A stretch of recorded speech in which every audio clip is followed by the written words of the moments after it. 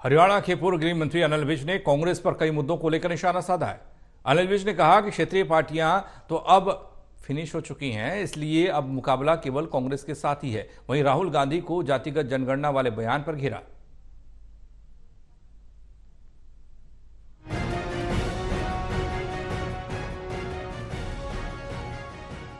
हरियाणा में चुनावों की घोषणा के बाद सभी राजनीतिक पार्टियों ने अपनी कमर कस ली है। नेताओं के बयान भी अब सुर्खियों में हैं। इस बीच हरियाणा के पूर्व गृह मंत्री अनिल विज का कहना है कि क्षेत्रीय पार्टी तो अब फिनिश हो चुकी है। इसीलिए मुकाबला केवल कांग्रेस के साथ ही है। कांग्रेस को आसानी से चित कर देंगे, क्योंकि कांग्रेस ने पाप ही इतने किए हैं कि पाप ही कांग्रेस को डुबा देंगे। विज ने कहा कि जम्मू कश्मीर की लिस्ट आ गई है। हरियाणा की भी जल्द ही आ जाएगी। साथ ही साथ चुनाव की डेट आगे बढ़ाने के सवाल पर उन्होंने कहा कि उन्हें लगता है कि डेट बढ़ सकती है। क्षेत्रीय पार्टियाँ तो लगभग फिनिश हो गई लोगों का मन भी अब जो है सिलेक्ट करने का है राष्ट्रीय पार्टियों से और मुख्य तौर पर हमारा मुकाबला कांग्रेस के साथ है। और कांग्रेस को हम आसानी से चित्त कर देंगे, कांग्रेस ने पाप ही इतने कर रखे हैं, कांग्रेस के इसके पाप ही इसको डुबो देंगे। अब देखिए केंद्रीय पार्लियामेंट्री बोर्ड ने करना जो चुनाव समिति थी, जिसमें मैं भी था जिसका मैं सदस्य हूँ उसने अपनी पैनल बनाकर भेज दिए अब केंद्रीय चुनाव समिति को निर्णय करना है किस दिन करें। जम्मू कश्मीर का उन्होंने कर दिया उसकी लिस्ट आ गई है। और अब अब कब वो तिथि तय होती है उस दिन हरियाणा की भी आ डेट बढ़ सकती है आप नहीं देखो लग रहा है कुछ ना कुछ तो होगा। हरियाणा के रोहतक में पाम्पलेट को लेकर कांग्रेस और बीजेपी कार्यकर्ताओं में हुई झड़प को लेकर विज ने कांग्रेस को आड़े हाथों लिया। कहा कि कांग्रेस अपने रंग दिखाने लग गई है। विज ने कहा कि सूत न कपास, अभी कुछ भी नहीं है और कुछ होना भी नहीं है और हवा में ही अपने आप को ये सरकार समझने लग गए हैं। तभी उनका ये हाल है। विज ने कहा कि क्या कांग्रेस का गुंडा राज फिर से लाया जाएगा?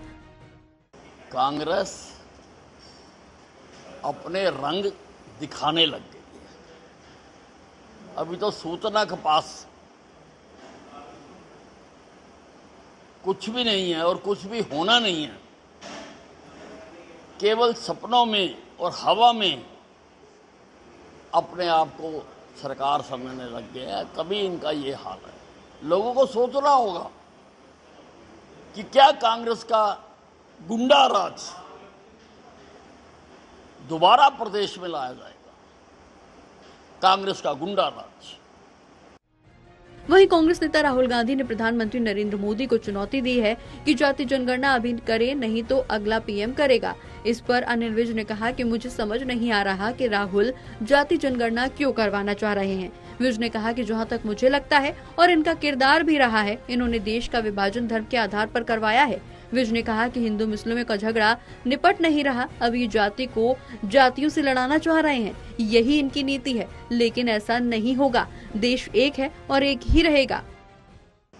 विभाजन हुआ देश का। इन्होंने धर्म के आधार पर करवाया। दस लाख लोगों के कत्ल का आरोप है इनके ऊपर। फिर इन्होंने उन्नीस में सिखों को मरवाया। चौंतीस और सिख शहीद हुए उसके दौरान। और राहुल गांधी जी के पिताजी ने खुद उसको सही ठहराया। उन्होंने कहा था कि जब कोई बड़ा पेड़ गिरता है तो धरती हिलती है। अब ये किसकी धरती हिलाना चाहते हैं? अब ये बार बार ये कह रहे हैं, हिंदू मुसलमान का झगड़ा तो निबट नहीं रहा। अब ये जातियों को जातियों से लड़ाना चाहते हैं। पड़ोसी पड़ोसी लड़े, मोहल्ले मोहल्ले लड़े, गाँव गाँव लड़े। ये है कांग्रेस की राजनीति, ये चाहते हैं राहुल गांधी, जिसको कभी नहीं होने दिया जाएगा। ये देश एक है, एक बन के रहेंगे, इकट्ठे बन के रहेंगे। वहीं जम्मू कश्मीर को लेकर राहुल गांधी का कहना है कि नफरत को मोहब्बत से हराएँगे। इस पर विज ने तंज कसते हुए कहा कि मोहब्बत के दुकानदार और नफरत का सामान राहुल गांधी ये जम्मू कश्मीर की बातें कर रहे हैं। जिन्होंने आज़ादी के बाद से धारा 370 खत्म होने तक हज़ारों लोगों को बलि चढ़ा दिया, धरती के स्वर्ग को नरक में बदल दिया। विज ने कहा कि पहले 55 साल कांग्रेस की सरकार रही और धारा 370 किसने लगाई, वहाँ अलग झंडा किसने बनवाया? उन्होंने कहा कि इनको बार बार याद दिलाना पड़ता है। अब कश्मीर में धारा 370 खत्म करने के बाद शांति लौट रही है और जो हत्याएँ हैं, उनमें 70 फ़ीसदी कमी आई है।